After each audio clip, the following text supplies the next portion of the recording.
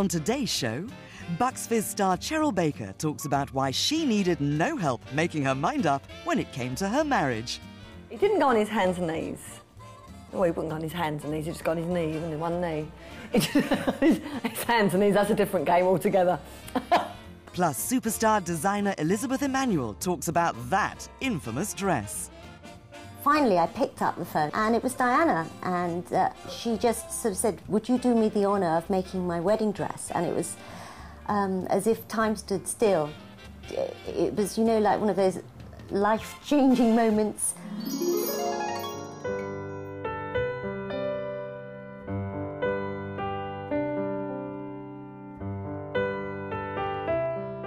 See, my real name's Rita. Everyone still calls me Rita. The funny thing is that Steve worked with me and knew me as a mate for 12 years, and he called me Cheryl in all that time. And then when we started going out together, he said, I'm not going to call you Cheryl anymore, I'm going to call you Rita, and that was that. Isn't it bizarre? I became um, a professional singer in 1975. That was the first band I ever joined. It was called Mother's Pride. And the guy who was in that band had a girlfriend, not a girlfriend, but a girlfriend who had a boyfriend. And that was Steve Stroud. And I became really good friends with her. She was lovely. She introduced me to Steve, and he was really friendly, and he bought us a drink, and that was that. And I went to see his band again a few times because they were really good, and I was so loved music. But oh, always Mike Nolan followed by Colin Northover, who used to do all our sound. And then coincidentally, he joined a band called Sparrow. Our paths used to cross all the time then, even more so, you know. And we'd be in a venue in Manchester, and they'd be in the venue at the end of the road because there were an awful lot of live gigs in the 70s. And so on our night off, we'd go and see Sparrow, and Sparrow would come and see Coco, and, and I'd sit and he'd talk to me, and he'd talk to me about Jenny and how she's not the right girl for him. And me, you know, I never ever thought, oh, he's, he's trying to pull me because I was so green, so naive, and I used to say to him, no, you, you need to persevere because she's such a lovely girl. And, and God, I didn't realise there were so many photographers there. 12 years after first meeting Steve in 1975, I suddenly saw this beautiful, fabulous, lovely man who was kind, who was considerate, who was generous. I don't mean by money, I mean in time and in um, emotion. And I just looked at him and thought, why haven't I seen anything in Steve before? He's lovely. I've had all these other relationships. I've been engaged a few times, and Steve was always there with the shoulder for me to cry on when something went wrong. And in 1987, I rang him and I said, Steve, I need to talk to you. There's something on my mind, you know, and, and it involves you. And he went, all right, Cheryl, don't worry. And he came straight round and we went out for a meal. And, um, and I said, I, I like you more than I ought to because we're mates. And he went, no, no, you can't. You know, if if it all goes wrong, if it all goes pear-shaped, then we lose our friendship as well as a possible relationship. But um, I wouldn't take no for an answer. And here we are, been married 15 years. This is me. I'm in the, the vintage car. Me and my dad. I was nervous, but he was terribly nervous, my dad. And there's all these Bucks fans. There were, there were so many Bucks fans there. And I did recognise an awful lot of them. Um, and in all my wedding photos, they're all in the background. and it's one time when you think, no! the problem for Steve and I was that although I had the hots for him and I really wanted us to get together and try and make a go of it, um, I was already in a relationship. I was engaged, in fact, and living with someone and had been for six years. And Steve was in a long-term relationship as well. My fiance was the drummer in the Bucks Fizz band, and Steve was the bass player, and they were buddies. Um, so this was going to be difficult for us. So actually, we were together for two years without anyone knowing. We kept it all very secret. Uh, after two years, we, I said to my previous fiance, look, you know, there is someone else. You have to leave the house. And he said, I don't care who it is, as long as it's not Steve Stroud. Look, he's lovely, my husband, isn't he?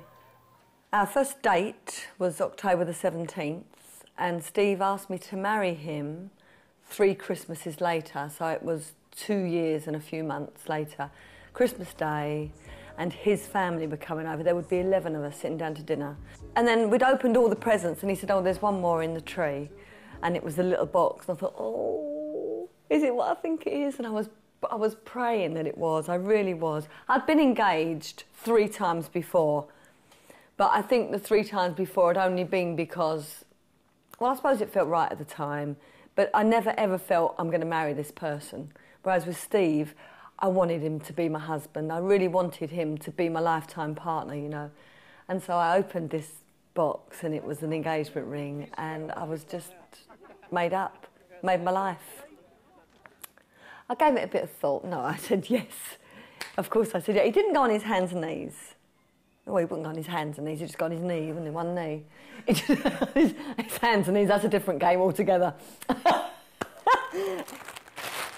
this is the um, this is the dress that my friends made me on my hen night. I didn't want a hen night where you just go to the pub and get blathered. I said, and I didn't want presents. I mean, we'd been, Steve and I had lived together. We had our own homes. We didn't need an, another toaster. So I said to my girlfriends, let's just go to a hotel and stay the night and just be girls, be mates, and have a lovely time. And that's what we did. But they made me this lovely dress saying things like, comes with a carrot. I just realised what that says. I just, I just realised the implication. I love huge willies. I never really read all these exciting but frisky. Steve comes from quite a small family. He's an only child. His dad's an only child. His mum was one of three sisters. Doesn't have many aunts and uncles. Doesn't have hardly any cousins, so very, very small. I'm one of five, mum was one of 11, dad was one of 11. All the brothers and sisters of my parents' families had big families. So we were looking at either really small, intimate, just immediate family, or really big. It had to be one or the other. There was no in between. And so we had really big it was more my decision than Steve's, I must say. I think Steve would rather have saved the money and, you know, had a really good honeymoon, which we had anyway. But um, it was expensive, but it was really worth it. It was fabulous. We got married on Blackheath in South London. There's a beautiful church there called All Saints, and it's like um, it's like a chocolate box. It's just perfectly built, and it's got a lovely spire and and I really wanted to get married there. We had we had our wedding there, and then we had our wedding reception at uh, Blackheath Concert Halls, which again inside was a fabulous venue, and it needed to be able to take about 500 people, which it did comfortably. I'm not a very starry person. The, my friends in show business are friends. They're not friends because they're showbiz. It's just coincidental. Um, Gary Rhodes I class as a friend. Peter Howitt, who was the original Joey in Bread, who's now a fabulous director. Mike Nolan, Shelley Preston and Bobby G was there from Bucks Fizz. And that was it. It was, although it was a massive wedding, it was family and friends, and really good friends. And so I didn't feel like I was trying to impress anyone. I didn't care whether the pictures went into OK or hello. I just cared that my special day was with my special people. I particularly wanted uh, a church wedding, not because I'm religious, um, but because, actually, for the wrong reasons, really. Because I wanted to wear a lovely dress and because I wanted my dad to walk me down the aisle. My dad was in his mid 70s, but he had been very poorly at the time, and I really wanted him to walk me down the aisle because I thought he would be the proudest dad, and he was a proud dad, proud of all of his kids.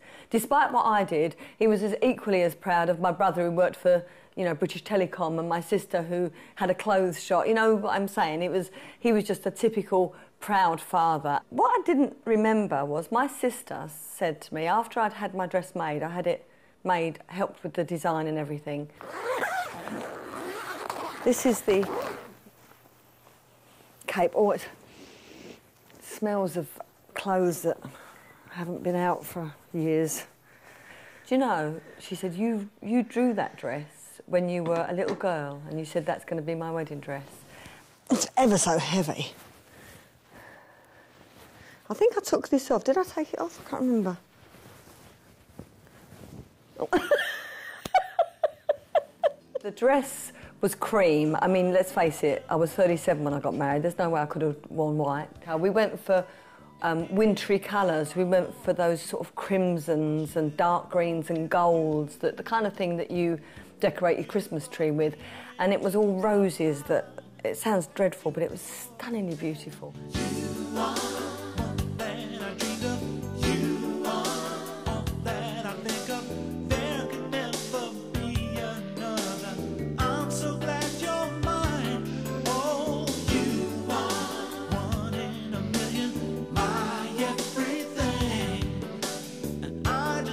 Working with Steve for all those years, he was Jack the Lad, and I used to think, I used to watch him, and he'd uh, a different girl on every in every venue that we played on tour, and I used to think, oh, poor girl who ends up with Steve Stroud, and it was me.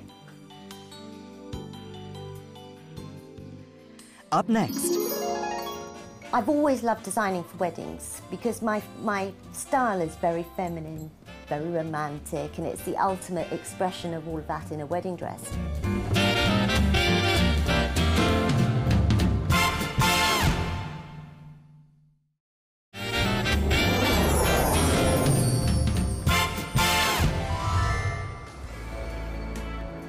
I've always been into fashion, actually. Even going back through my old books and things, I'll see little doodles um, of you know, girls wearing sort of big frocks and things. I've always kind of been into that. But at college, I actually studied uh, illustration. I was into um, art in general, and I really did want to go into illustration. But then they decided that there wasn't any space on the course, so I ended up going onto the fashion course. And then once I got sucked into that, you know, that was it. And uh, I was at Harrow, very, very good college. Had to be very disciplined. They worked you very hard and stood me in good stead really to get into the Royal College of Art because it's really difficult to get in into there. I know we don't, we don't want to cut this piece yet, so it's um, but at least we can get a, a, feel of how it might look. Dave and I just always decided when we graduated that we would start up our own business, and we were very fortunate because uh, my family really helped us and, and, backed our first little business and. Uh, I remember we, would, we were looking for a location. We were driving down Brook Street and noticed a to let sign up on uh, this funny little building by Haunch of Venison Yard. And we went and had a look, and it used to belong to Freddie Fox, the milliner, who did all the, the Queen's hats. Uh, we discovered that it was something in the price bracket we could afford. And so we ended up there, and it was just so fortuitous, really, in that, uh, I, you know, it just from that minute onwards, it was kind of a role we had a lot of luck, you know, being in the right place at the right time. Bianca Jagger actually was one of our first clients who wore one of the frothy gowns from the college collection at Studio 54 for her birthday, which was great. Was, and actually, that's what started us off because it was pictures of her on the white horse wearing this frothy chiffon silk number, went all over the world, and people started flooding in from that point on the 80s was just the, the best time ever for us because um, ever since Bianca, you know, people were flooding in and we, we had so many very well known clients. We also were recognised by Vogue at that time. And uh, you see, because we were down the road, they used to ring us up and say, Look, we're short of a white suit or you know have you got anything that looks you know got, got, pink buttons on it or things like that. And we'd always help them out. And so we got had a very very good relationship with vogue. And uh, they introduced us one by one to the royal family. But uh, one, one day we were approached by anna harvey and they were doing a big shoot with somebody and they wouldn't tell us who it was. They just it's very famous. We can't say the name. We're looking for something very elegant very feminine with a high neck do you have anything? Uh, as it happened, we did. We'd, we'd, uh, we had this little blouse hanging up, which we'd just made, sent it down there and didn't hear any more.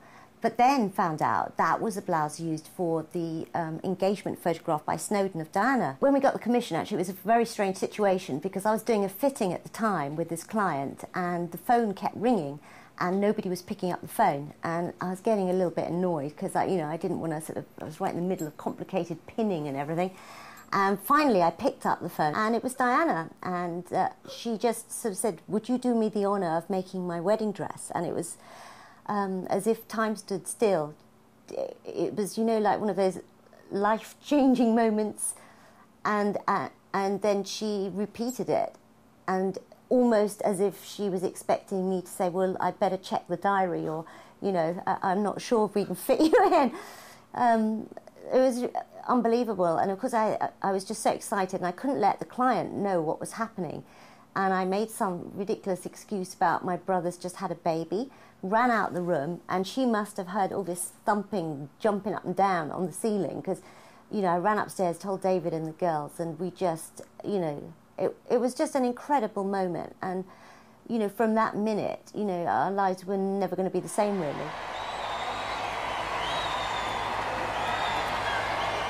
The day of the wedding was, uh, oh, well, couldn't sleep the night before. Um, it was just frantic. We had to get up very early. We went to Clarence House where the princess was and the bridesmaids. And Diana was kind of keeping us all very down to earth and calm. And we got her into the dress, and then, of course, there was the long wait until her carriage arrived, which it just seemed to go on forever because she was all in her dress, and we were standing on the steps waiting. And then finally, the carriage arrived. We helped her into it, and then we were whisked off to St Paul's. And um, of course, there was the famous creases in the dress, which uh, we noticed uh, as she, she kind of uh, came up the steps and we saw her framed in the doorway of St Paul's. But uh, the fabric that we used was, is a very, very heavy taffeta. And of course, when you pull it out, all the creases come out. So we weren't, um, I was more worried than David was, I must say. But uh, So he got the top part of Diana and arranged the veil, and I got the hem and arranged the train and the skirt and everything. And then uh, we, we saw a little bit of the ceremony, and then we were whisked back to Buckingham Palace where, we had to prepare her for the photographs. On the day, Diana was really pleased with it. I think that, that really made our day when we got the phone call when we arrived back at uh, Brook Street. And we were feeling a bit flat, you know, after an incredible day like that. And, you know, oh, well, it's all over now. Now we can sort of relax, but feeling very sad that it was over. And then we got the phone call from Diana. We don't know where she was, but she actually took the time to call us and to say thank you. Now, this is one of my most favourite dresses and made for Elizabeth Hurley for a big party in Russia. And it had a Catherine the Great feel about it. So we made it rather like one of the characters in the old movies. It's all in white silk tulle. This is all beautiful lace, hand embroidered with tiny sequins. It's just so romantic and dreamlike. And then we've taken these beautiful handmade silk velvet roses. Slightly bashed up now because this has um, been photographed so many times. Well, we did another very famous wedding, which was uh, for Richard Branson and Joan, and that was a fun one. I mean, it was just so different, you can't imagine it. Um, and, you know, whatever dress we do, I've got to say, they're all important to us, celebrity or non celebrity. The thing is, the bride's entrusting us with such a special dress for such a special day that it's brilliant, you know. I, I particularly love it when, when we get a bride that comes in and says, you know, that they don't have no idea what it is that they're looking for. And then we can come up with all these ideas, and sometimes they're kind of up for quite wild things as well, which can be quite fun. Um, our wedding collection is a, is a mixture of all different styles, but the one thing that they do, do have in common is they're very romantic and very feminine and very frothy. And it's really their starting point for our bride. So they'll come in and, and they'll, they'll look at everything and, and then they just go crazy usually and just try everything on. And, and so that's a starting point. And then they might say, well, you know, I love the bodice on this, but I want something with sleeves. Or, you know, it's like doing a work of art. That's really our philosophy here. It's like painting with fabrics. Now, this is very unusual. It's covered in little silk petals. And then when the wind catches them, or as you're walking, they all sort of seem to flutter and come alive. It's very pretty. It came out of the blue to do the dress for Chantelle um, and Preston, and that was a lot of fun. Her dress was in this beautiful cream ivory Duchess satin. Uh, had a huge skirt. We based it on a crinoline. We did this construction job on it, which we, we'd never actually done before on any other dress. Um, so it kind of uh, was quite a big skirt actually. I mean, to get through a doorway, she had to kind of move sideways. Uh, we didn't have that long to make it. In fact, we were doing not just Chantelle's dress, we did um, Preston's sister as well and her mum. And so it was a whole family thing as well. I've always loved designing for weddings because my, my style is very feminine, very romantic, and it's the ultimate expression of all of that in a wedding dress. But, you know, we've done in between things like the Royal Ballet um, at the Opera House and pantomime. We did Patsy Kensit in Cinderella. We did musicals. Um, I've done lots of clothes for Enya for a lot of her albums. Um, so it's been like a really a big cross section of things. Now, this is something we did with uh, Vogue. This is way back in the 80s, but it was very successful. Um, John Swannell took all the pictures, and they're fabulous. We've got um, various personalities that we were dressing at the time. For instance, Shakira Caine, who's just so stunningly beautiful, even now, she's just fabulous looking. And Jane Seymour, who we used to dress a lot. I mean, she was beautiful. That was a scarlet Duchess satin dress. I remember that one very well. And Joan Collins, I love this picture of her, and that was very pale pink, Duchess satin with the most enormous handmade satin roses around her shoulders. Oh, here's, here's a really lovely one. This is uh, Patsy Kensit, when she was just a child, really. So that was our little brochure that we did with Vogue. I find that my training at illustration is very useful as well, particularly, you know, in getting across uh, designs to people because sometimes a designer's sketch can be very hard to read. So I use um, my Adobe Photoshop now and got quite good at it, I think. and you know, can draw these dresses and things on what looks like a, a real person. It gives more of an idea, feel of what it is I'm trying to do. I love the movies now, currently into the movies. I think the next best challenge would be to get an Oscar, but I don't see that happening straight away. Now, here's the dress that we did for the film Outlaw by Nick Love and made in silk Duchess satin and we were asked to make two of them because one of them was going to completely get destroyed in the process of making the film. And I do actually feel that that's the way forward, fashion and film together. Um, because in a film format you can control lighting and music and absolutely everything and you get a pure form of what it is you're trying to get across in a collection. And then we, we still got to work out how we're going to do the skirt. If I could be remembered for one thing, I think it's just making a mark on fashion to be remembered of, for having contributed something. And uh, I think probably it will be uh, David and I for doing Diana's dress because that was a dress in a million for a person in a billion, really. Um, something never to be repeated, I don't think, ever in history. Uh, it was so unique. So, uh, and I'm glad we could be part of that. Next time on Celebrity Brides Unveiled. Former Big Brother star and bride to be Grace Adams Short gets into the wedding spirit. God, I look like a real virgin, don't I? Look how pretty is that? Plus, Wish You Were Here's Ruth England talks about her rush to the altar. The dress itself, it was sort of creamy ivory. I didn't want to go white white. I mean, let's face it, I was knocked up.